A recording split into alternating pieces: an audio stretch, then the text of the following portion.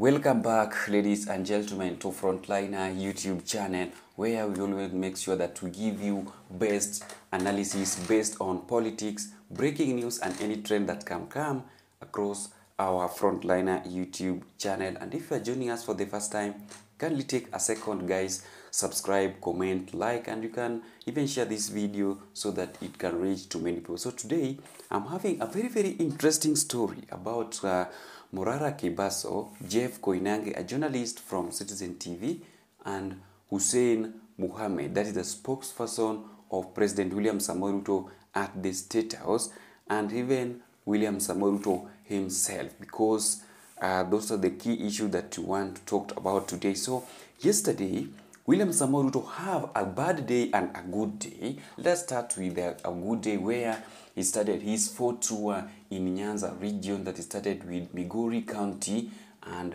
in later evening he went and finished his rally in Kisumu County where he received a very very heroic reception from the resident of Kisumu County that show love to him after he nominated some of the ODM uh, opposition leader to work under his government, especially the treasury that John Badi, the treasury seat that have never been occupied by any Luo here in Kenya since uh, we got independent or since we started having uh, the presidency or having these seats here and there here in Kenya. So John Mbadi was the first person to occupy uh, the office of treasury here in Kenya, ladies and gentlemen. So when William Samoto returned here in Nairobi County. After finishing his rally in Nyanza 2, uh, which he finished with Kisumu County,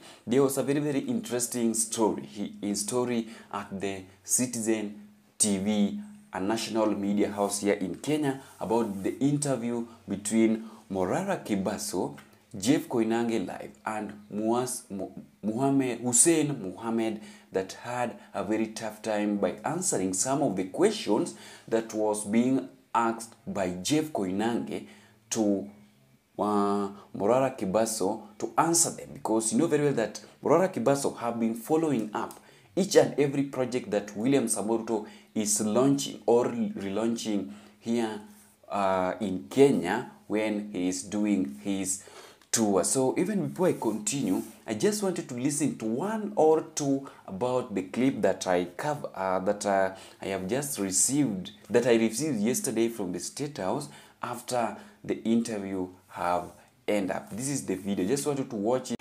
And to our president, God has given you a chance to lead this nation.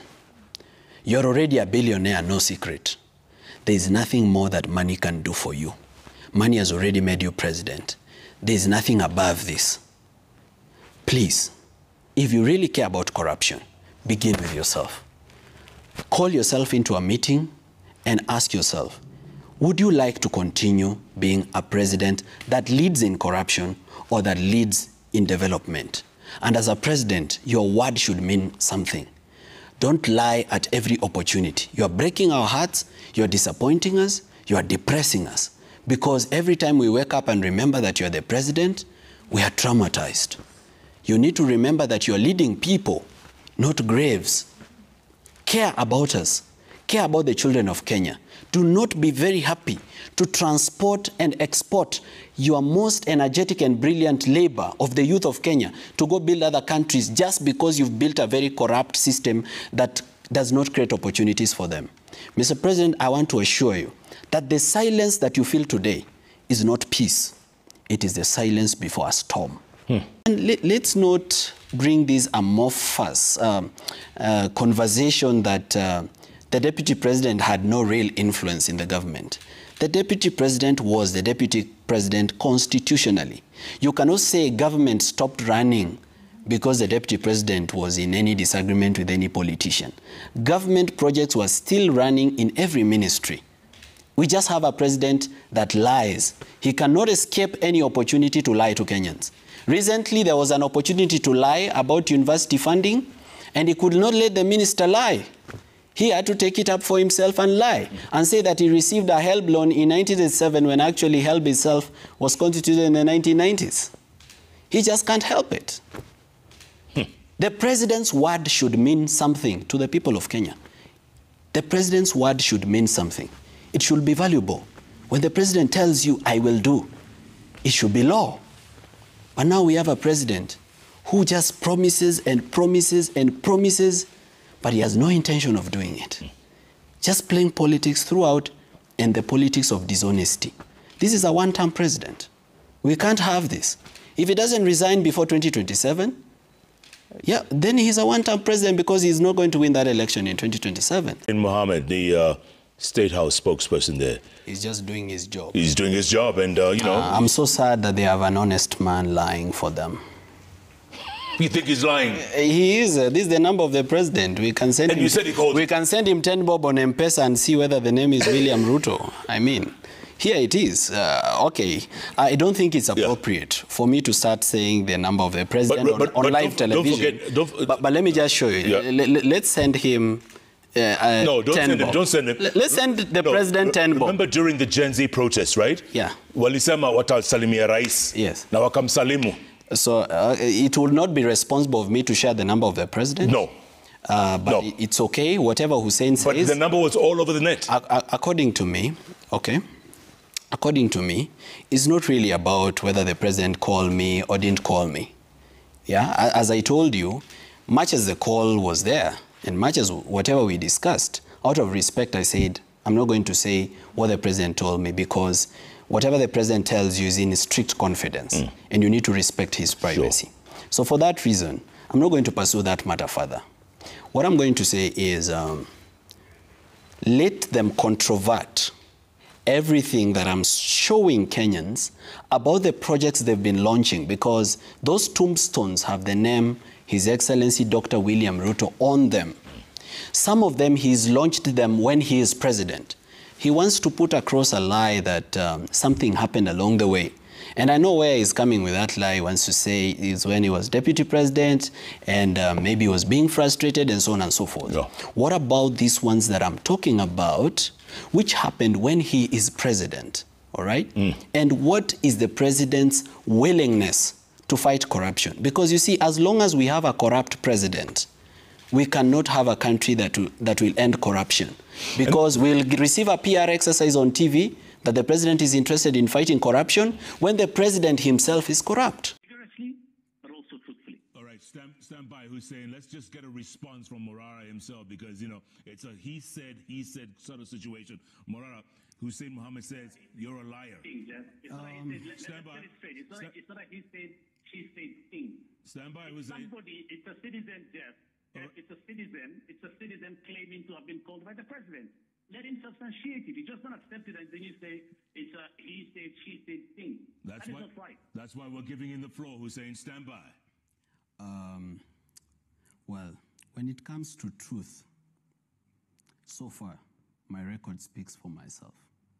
Everything that I've told Kenyans has turned out to be truthful, and even him, Hussein Mohammed, has not been able to controvert any of the projects that I have visited in the 19 Yeah, but regarding the call Now, from the president, he said, regarding the he call, says you're uh, re- regarding the call from the president, I wonder why Hussein purports to know who the president calls and who he doesn't call. I have the number of the president here. I'd like her to call the president and ask him because Hussein wouldn't know.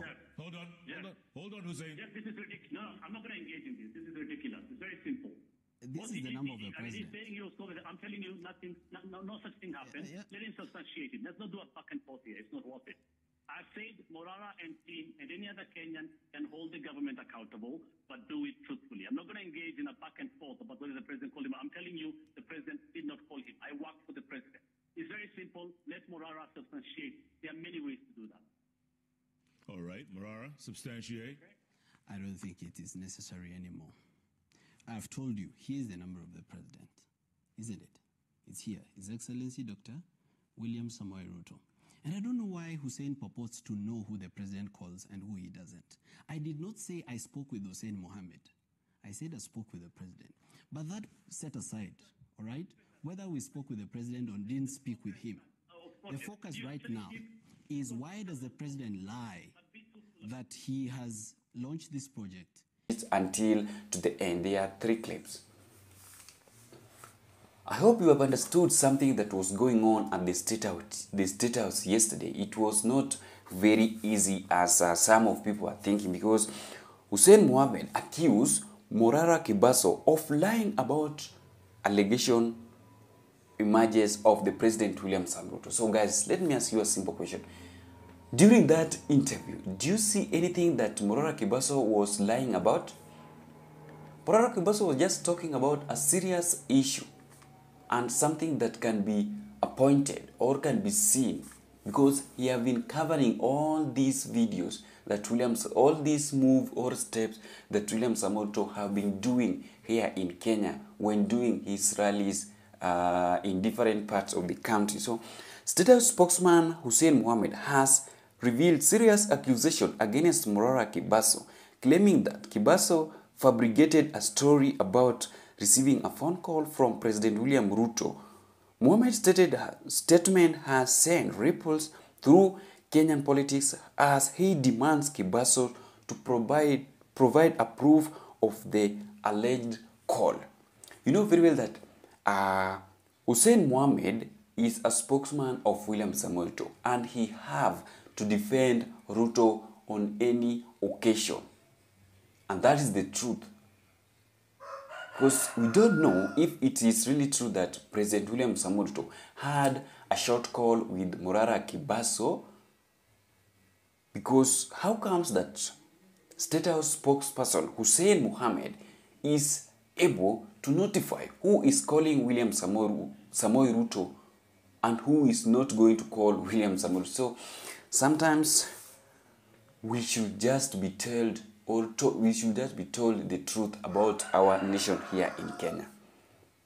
Because Hussein Mohammed was supposed to back up or help President William Samoto at any means at that moment of time that there was an ongoing interview at Citizen TV at JKI, JKIA Live. So during a heated press briefing, Mohamed asserted that Kibaso claimed claim of a president phone call is nothing more than elaborate false falsehood. So it was a very very difficult interview, ladies and gentlemen. So keep on uh, staying tuned from Frontline YouTube channel because we will be notify you on anything that can arrive on our Frontliner podcast. Stay tuned as we will be notify you again on what will be happening today because as I am talking to you right now, William samoruto have visited the people of Migori to launch some of the projects that he promised them. So stay tuned